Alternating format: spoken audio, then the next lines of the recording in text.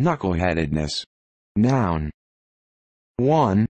The state or condition of being knuckleheaded, foolishness or ineptitude.